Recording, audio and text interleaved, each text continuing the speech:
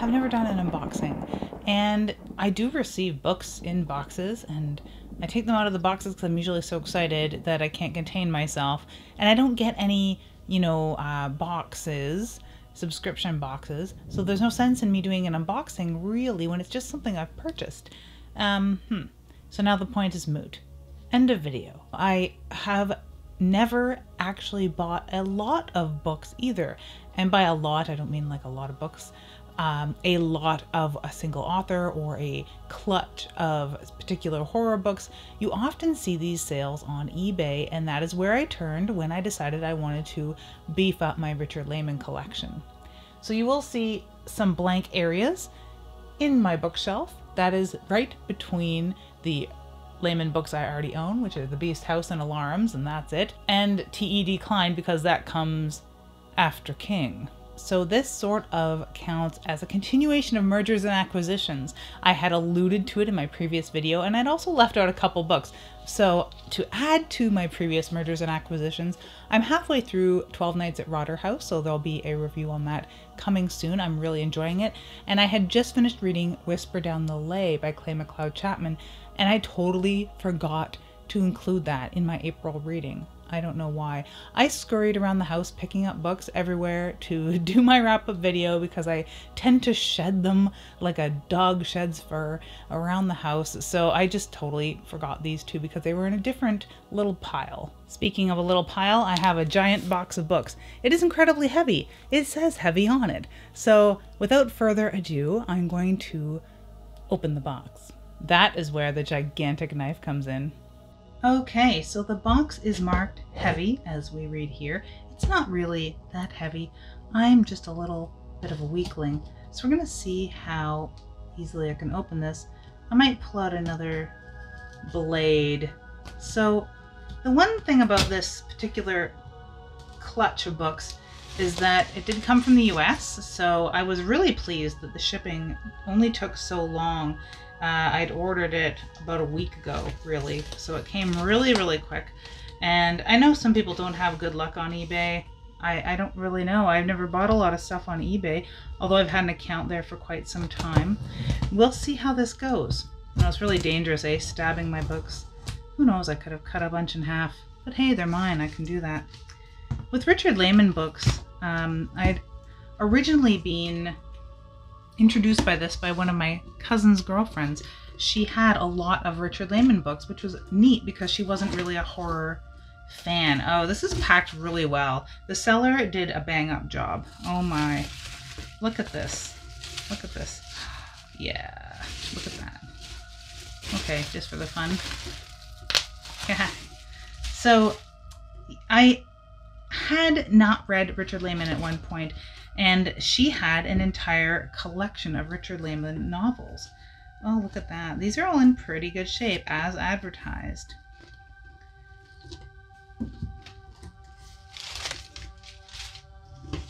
So this girl that was not a horror fan... Oh, wow. So beautiful. Oh my god, just look at that, would you? Oh my. Into the Fire, Midnight Tour. And these are all leisure, I believe. We'll double check on that as we go. But yeah, they look like they're all leisure. She had this collection, or the Hatchet ones. I think she might have had the UK versions of all these Richard Laymon books. Just gently broken spines, the way I like them. Some unbroken spines. Look at this. Look at this beautiful thing. Look at that. Do they have the Dorchester Book Club? Look at that. Love that guy. Love that little guy. But she was not like a horror fan, and that was the the neat thing, um, because she hardly watched horror films without somebody there to help watch them with her, which was surreal to me. Because once I read some of these that I borrowed from her, I borrowed about two or three at a time, and read her entire collection, basically. I got burnt out after a while. Like, there's only so much. Look at that beautiful thing. Oh my. But she didn't collect, you know, she didn't really read Stephen King, she didn't read Koontz, she didn't read any of the darker fiction. But this, this near pornographic, in, intense horror she collected all of and she just loved it for its cheesiness. I mean, unfucking believable, really. Bite. There we go. That's a beautiful one. I loved reading about the uh, process for which he came up with this, finding a strange corpse in the in the uh, desert. Wow, look at these beautiful things. Hope you stick around while I put them away. The woods are dark, so slim. At first I doubted that there would be 25 books in this little tiny box, but here we are. I'll move my giant knife. Isn't that a gorgeous thing too? The cellar. Unreal. I'm going to probably try and put these in chronological order too. This one I don't know if I've read, actually, come to think of it. Dark Mountain. Lovely. Some beautiful stuff. This one's got a little bit of wear.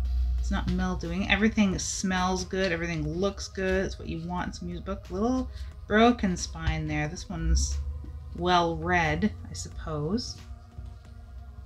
I always loved the cover of this. This was one of the first uh, that I read. Yeah. Stake in the Dark, Darkness Tell Us. Those were some of the first ones that I'd read. Things with Dark and Night, I guess I was a sucker for. This is a really beefy one. I just finished reading that actually. In the Dark is going to be an upcoming thing. Beware. Richard Laymon. Oh, these are beautiful. Lovely, lovely covers. Yep, these are all Leisure, Dorchester Leisure. And as are the ones on my shelf. Island. This is one of my favorite Richard Laymon books. The interesting thing about the person who had originally oh lovely that's uh that's a really cool one. Oh wow I'm gonna have fun going through these. But yeah, the interesting thing about somebody who's not really a horror fan being a Richard Laymon fan uh, shows to me that there is some real appeal in this pulp, this almost childish sort of way that he goes about uh, characterizing women, especially. And if you have a sense of humor, Night in the Lonesome October. Wow, I love this. This is also a lot. Some some of these are very well read, but very well cared for. Unreal. I'd love to go through and see if these are signed. So there is an appeal, even though he is, you know, quite intense of a horror writer. Yeah, these all look really good. I am so pleased. I am so lucky. And no uh, stickers on them. That's the one thing I've been sort of watching for and hoping to not get. A lot of lovely stuff. Yeah, look at that beautiful stuff on that cover. You can sort of see me in there. Hello, hello everybody. Um, yeah, there is appeal, even if you're not, you know, a splatter fan, he does get very intense. He does. And this is the last, oh, second last book in the box. What's this? Oh, lovely. I did a uh, photo shoot sort of uh, based on that once not me as the model, someone else as the model, to wake the dead. And that ends our unboxing. Yep, there's nothing else in there. So, yeah, I'm going to add this to my shelf right now. Okay, so via the magic of audio and video editing, I'm going to put these books up on my shelf, hopefully in some sort of chronological order with the help of a list on Wikipedia, because Richard Laymon Kills is no more. That was the website that Richard Laymon and I believe his family had curated after his passing. So they had had a great bibliography, all sorts of things, and it was a very cool site, but it is no more as far as I know. But for now, we have a list. After which, I will be adding a to buy list and hopefully getting some of these in the wild. For what I paid for the box, about $125, it, it works out very well for me because I think that's about what I would have paid per book if I had found them in the wild, and who knows what sort of condition. The condition that these are in is worth it. So The Cellar is his first book. And then came The Woods Are Dark. He'd had a book in between written under a pseudonym. We skip quite a few, including one of my favorites, Out Are the Lights, and we get to Beware. And then The Beast House, which I already own. We are missing Flesh and Funland, two of the ones that I had read at the beginning and I really loved, and I'm gonna have to rebuy those somehow. One Rainy Night, then Darkness Tell Us, Blood Games, and then Alarms, which I already own.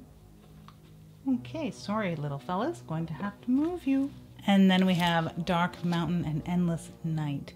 I'm doing pretty good, and I believe that uh, the few spots that are missing are, of course, his earlier works. It seems that I've got quite a few books to go. I hope I don't run out of shelf room, which I very well could. We'll see if that happens. Savage, and this is where I had paused in my reading originally of Laymon because then I read Drood, and then I went straight back into Laymon reading. And here's In the Dark, which is the next chronologically. I don't have Quake, which is next, but I've never read Quake, so I not miss it too much. But Island is one, as I'd said, that I really loved. This was one that really sunk its teeth into me, as it were. Body Rides, then Bite. This makes me want to watch Shocker. This makes me want to include it in some contemporary vampire fiction, but it's old, right? Old as dirt. I'm going to definitely run out of room, so I think I might have to do some sort of fancy vertical stacking. After Midnight and the Midnight Tour, there is a book in between these.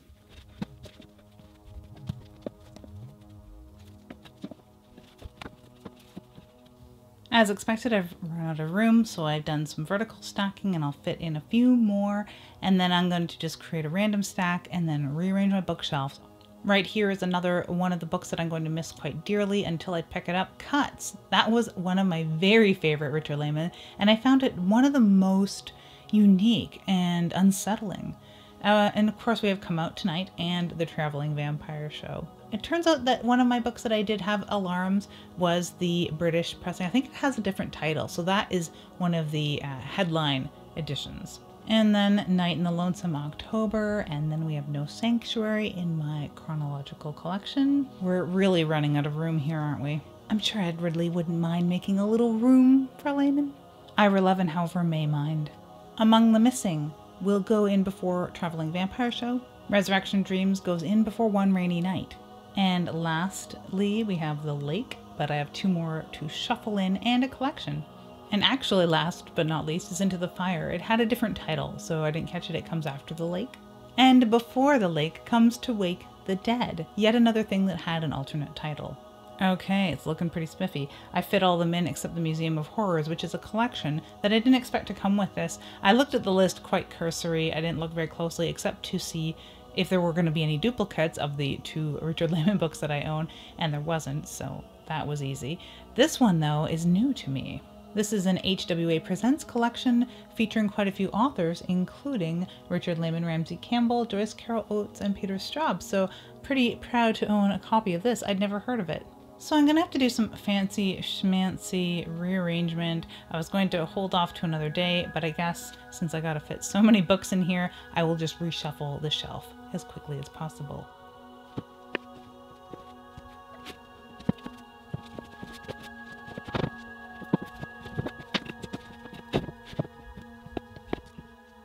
So there you have it.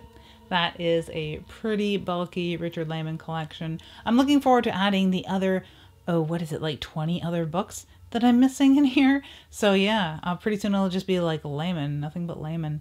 And hey, I don't mind one bit. I'm going to have a Richard Laymon review or 25 of them coming up soon enough as I get them. They're perfect summer reading. That is originally when I had read them, and I can remember quite a few of these plot lines coming back to me and picturing where I read them, be it at a cottage for the weekend, out fishing, or on my bed in my bedroom in a sweltering summer day or in between gardening tasks while visiting my parents. There's quite a few of these that come swimming back to me that way, let alone the ones that I just read in that one corner of the couch where I often spent my evenings. So I don't know, I can't promise another unboxing. I don't really buy boxes of books like this and I don't have a subscription service, so someday maybe I will do another one, who knows, but for now this is my one and only unboxing video, so I hope you enjoyed it. And if you, of course, are a huge Richard Laymon fan, which I know quite a few of you are, not only can I see it on your shelves, you've probably reviewed them and I've eaten that up voraciously. But yeah, if you've never read Laymon, even better, let me know in the comments below. Thank you so much for watching and have an ookie spooky day.